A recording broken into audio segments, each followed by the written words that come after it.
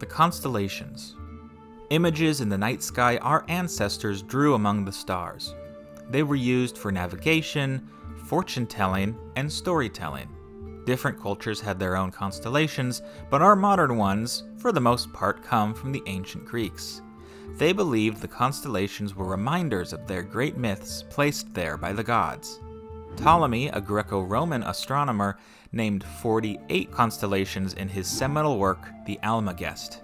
In modern times, the International Astronomical Union recognizes a total of 88 constellations. In this video, I want to tell the stories these constellations express. We're not going to go over every one. We'll focus on Ptolemy's 48, and we won't cover all of those either. You see, not every constellation has its own unique story, and many groups of constellations work together to tell larger stories. And knowing these stories can help you remember the constellations better and relate to the stars in a more meaningful way.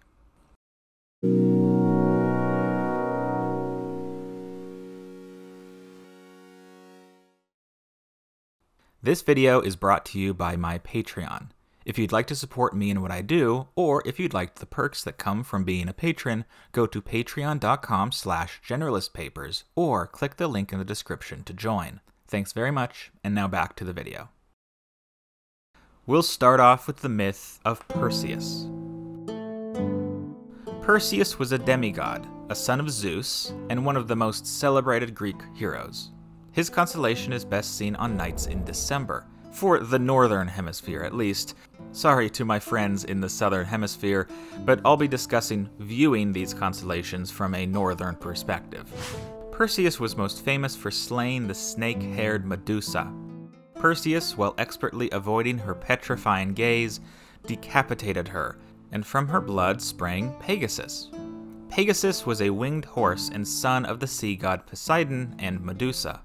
While Perseus uh, released him by cutting off his mother's head, he did not in fact tame the horse, as is seen in some modern adaptations of the myth. Pegasus was instead tamed by a later hero named Bellerophon. The constellation Pegasus is best seen in October. Between Pegasus and Perseus in the sky is the constellation Andromeda, on his way back from killing Medusa, Perseus came across a terrifying sight the Ethiopian princess Andromeda tied to a rock, waiting to be eaten by the sea monster Cetus. Perseus then killed the monster and rescued the princess, who he eventually married. Andromeda and Cetus are best seen in November, though luckily for Andromeda, they are not in the same patch of sky. The next two constellations are Cassiopeia and Cepheus. They were the queen and king of Ethiopia, respectively, and also mother and father to Princess Andromeda. You see, Cassiopeia had bragged that her daughter was even more beautiful than the Nereids.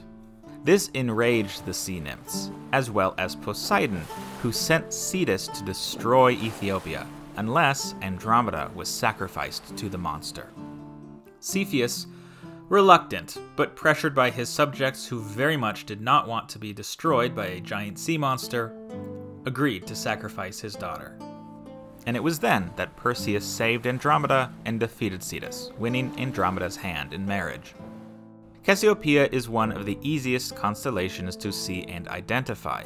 Like Andromeda and Cetus, she is best seen in November.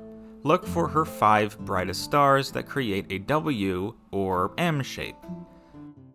Cepheus is just west of his wife, assuming she is in her M formation. So those are the six constellations as part of the Perseus myth. Perseus himself, Andromeda, Cassiopeia, Cepheus, Cetus, and Pegasus. Next, we have the story with the most constellations in it the myth of Hercules. Hercules was the greatest and most celebrated of all the Greek heroes. He, like Perseus, was a son of Zeus, He's most famous for his 12 labors, the 12 labors of Hercules, tasks given to him by the king Eurystheus. Some of these labors are represented in the constellations. First, we have Hercules himself. As I said, he was the son of Zeus and a mortal woman named Alcmene. Hera, the queen of the gods, was rightfully angry at Zeus's constant infidelity. and took out her frustration not on Zeus, but on his son. Therefore, Hercules' life was constantly threatened and made difficult by an angry Hera. The Hercules constellation is best seen in the summer, in July. Now we move to the Twelve Labors. For context, Hercules had married a woman named Megara and had two children with her.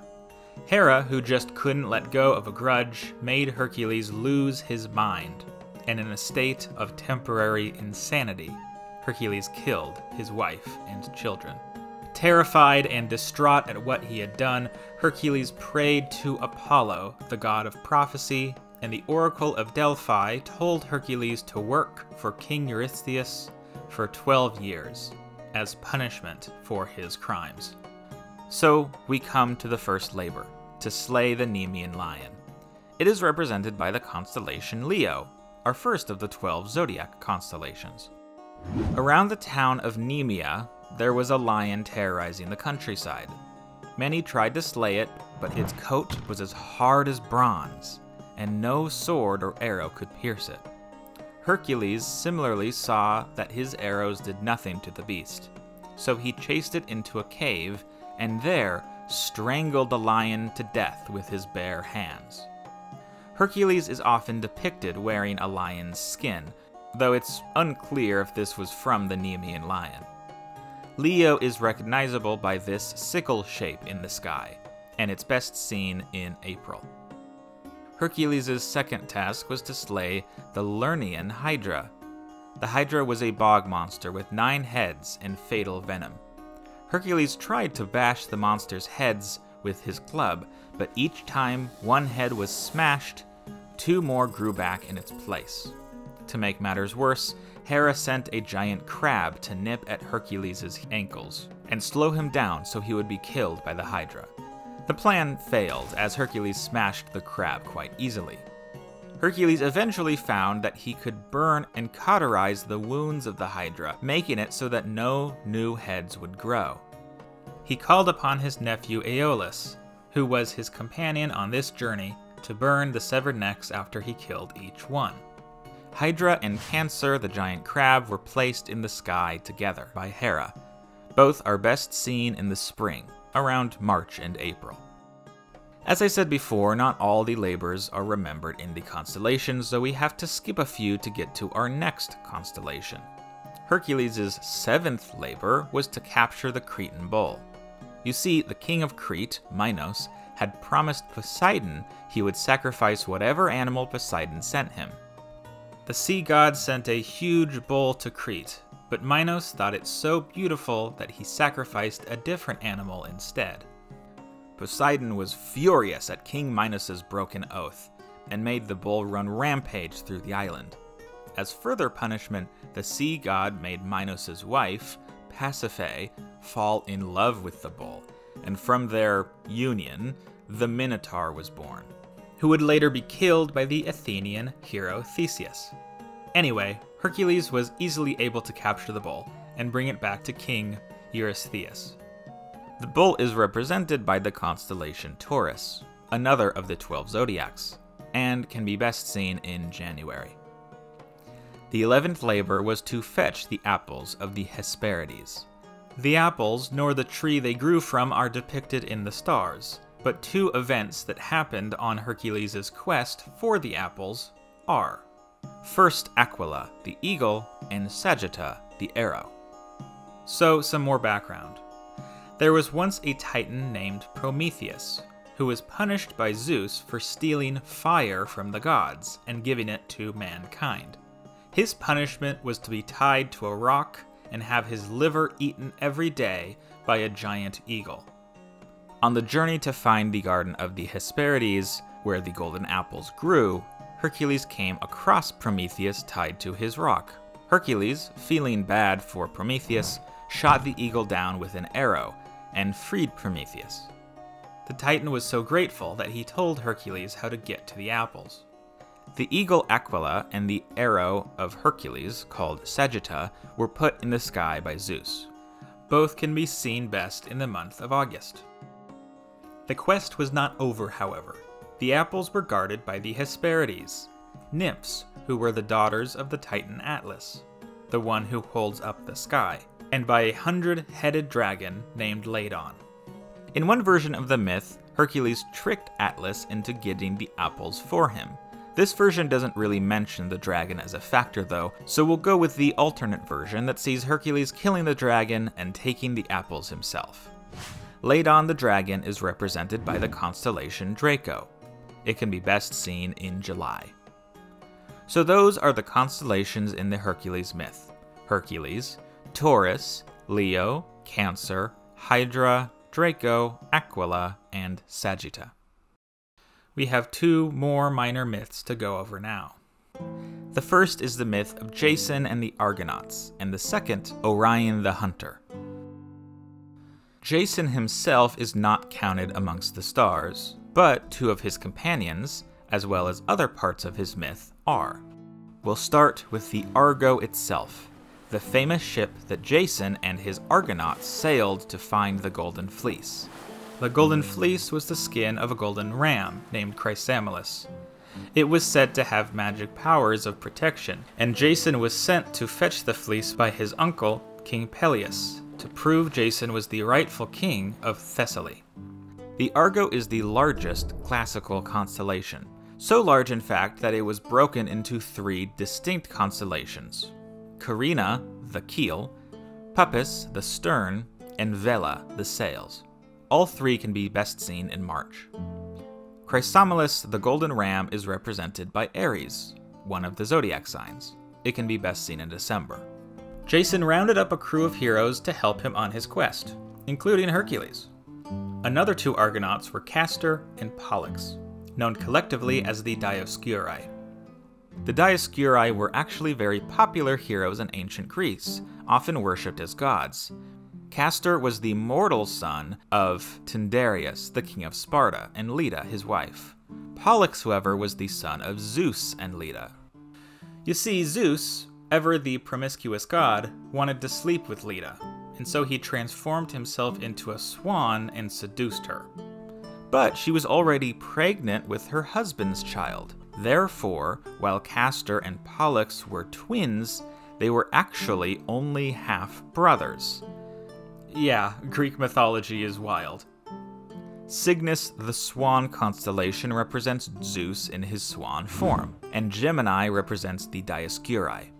Cygnus can be seen in September, and Gemini in February. One last constellation in the Jason mythos Jason, before his quest, was tutored by the centaur Chiron, who was the wisest and best of the centaurs. He's represented by Sagittarius, one of the zodiac, and he can be best seen in August. So those are the constellations that relate to the myths of the Argonauts. The Argo, Aries, Gemini, Cygnus, and Sagittarius. Orion is one of the most noticeable constellations in the sky, but most don't know his story. He was one of the giants, a race of people in Greek mythology that had great strength, though weren't necessarily of great size. He was a renowned hunter, so renowned that Artemis, goddess of the hunt, who did not usually associate with men, enjoyed hunting with him. Orion, however, made a mistake. The classic mistake that all Greek heroes make boasting of his prowess he stated that he was such a great hunter that he would hunt and kill every beast in the world. Gaia, mother of all creation, took issue with this statement and so sent a giant scorpion to kill him. It succeeded, and Artemis placed Orion in the sky as a constellation, along with Canis Major, his hunting dog, and two animals for him to hunt forever Canis Minor, the fox, and Lepus, the hare. The scorpion was also placed in the heavens as Scorpius, another of the zodiac. Orion and Lepus can be best seen in January. Look out for these three stars called Orion's Belt. Canis Major and Minor can be seen best in February, and Scorpius in July. The constellations don't just represent images or tell stories, they can connect us with people long past. When you have a moment, Find a place with little light pollution and do yourself the favor of looking up. And realize these same stars have been inspiring us, guiding us, and amazing us for thousands of years. Well, that's it for this video. If you like it enough, I might do a sequel. There are lots of other constellations to go over. I mean, I didn't even talk about all 12 zodiacs. Do me a favor and hit that like button and subscribe if you haven't. Also, if you want to help out the channel, please consider donating to my Patreon. The link's in the description. Bye!